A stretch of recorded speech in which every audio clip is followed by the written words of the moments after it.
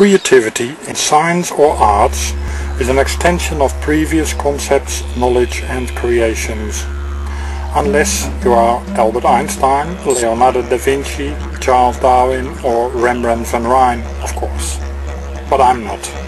With the Brain Trotter cube I embroider on the strength of solid geometry, on the beauty of the golden section and the figures of Fibonacci, and on the magic of the art of Sol LeWitt.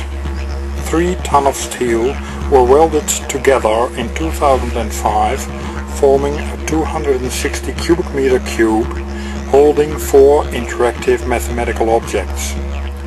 In order these are a blue cube, a red rotating circle depicting a sphere, a yellow pyramid and a black object of six parallelograms referred to as parallelogram. These four objects describe themselves with text signs, referring to the other objects and to their outside world, being the big terracotta cube. This big cube is linked to our world with its longitude and latitude values.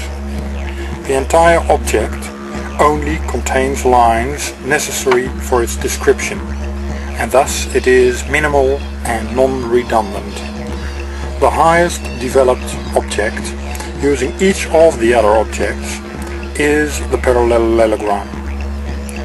It works out that its edges and corners fully respect the rules of the golden section. The multimedia cube creation called Brain Trotter on the Wallaby is made up of pictures and video footage of a small scale model of the cube, scale 1 to 10.